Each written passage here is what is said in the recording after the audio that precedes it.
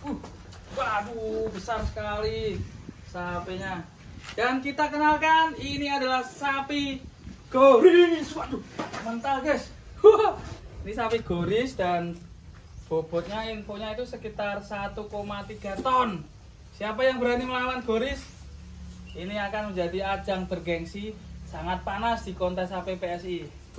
Ini dia amunisi dari Sabarudin Farm. Mantap. Dan ini sapinya masih disembunyikan di sini dan saya akan mereview sapi ini, guys. Sapi ini jenis termasuk jenis sapi apa, guys? Kalau kalian tahu nih. Ini sapi jenis crossingan pegon sama simental ya. Kalau nggak salah sih.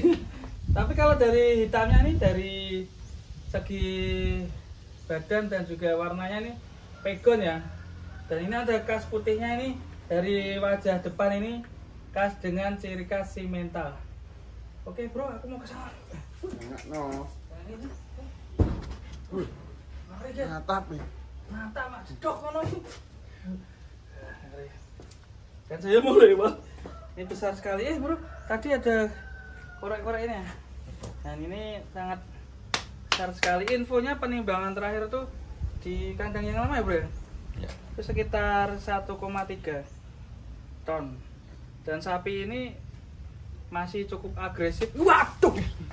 Jurun. emang agresif kayak gini.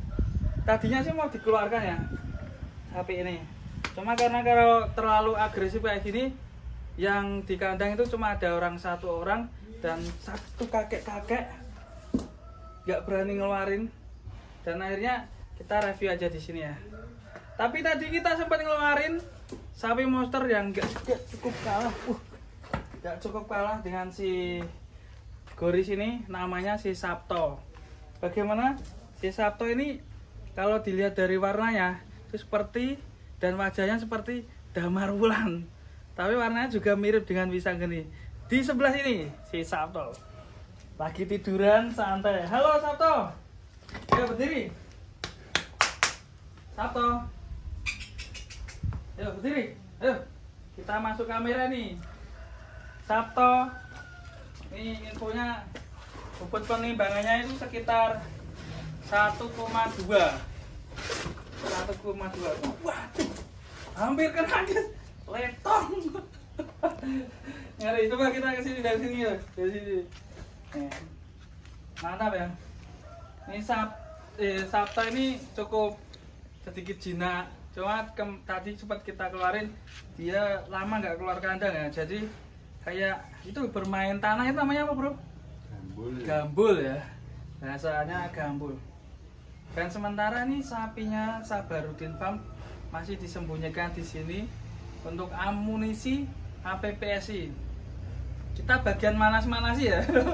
Mungkin teman-teman yang punya amunisi buat kontes nanti ini amunisinya Sabto dan juga Goris Sabto bobot 1,2 dan si Goris ini bobot sekitar 1,3 mantap.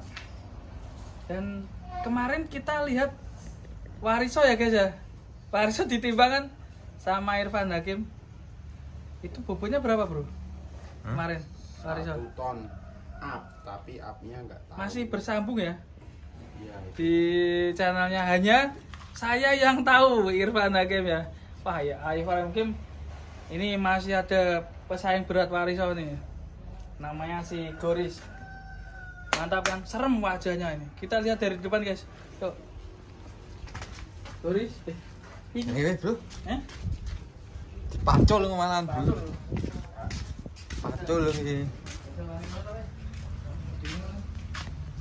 Wih, wih, wih. Terima kasih aja guys.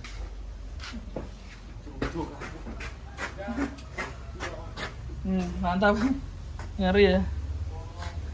Good guys, ngeri ya.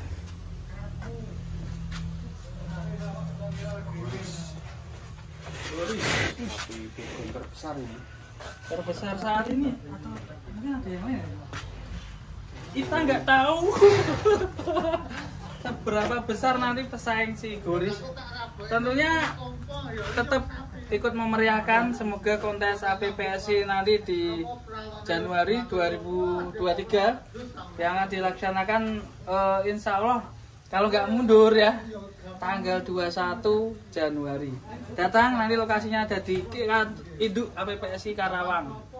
Dan ternyata Goris mungkin pesaingnya siapa aja kalau kita boleh tahu mungkin dari apa dari Sumedang ada si Tudor terus Tiafam kira-kira bawa siapa ya masih Tanda tanya. tanda tanya ya kemarin sempat ditimbang ya Wariso ya Ya, apakah Wariso akan ikut ya doakan saja.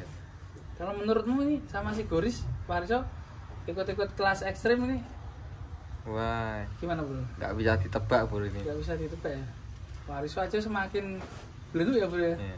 Kemarin ditengok sama Irfan Hakim semakin berat ya kayaknya.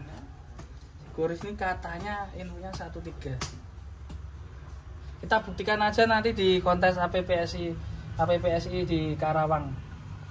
Mantap ya.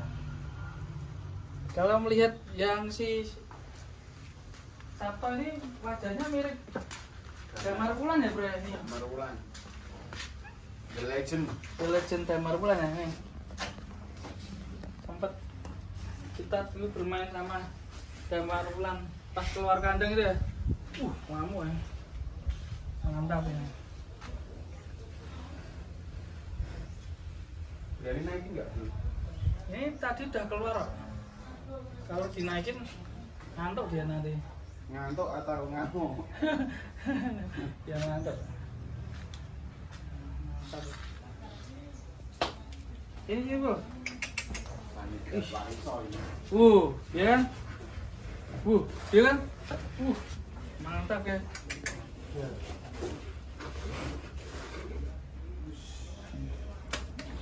mantap sekali. Oke teman-teman. Pokoknya sukses selalu buat peternak Indonesia jadikan sebagai motivasi buat para peternak yang ingin ikut kontes. Nanti siapkan amunisinya pokoknya ikut memeriahkan menang atau kalah itu hal biasa. Yang penting kita ikut ramekan dunia persapian di Indonesia. Semoga peternak Indonesia semakin berkembang dan sukses dan terkenal di mancanegara. Oke langsung aja kita keluarin si Sabto. Uh.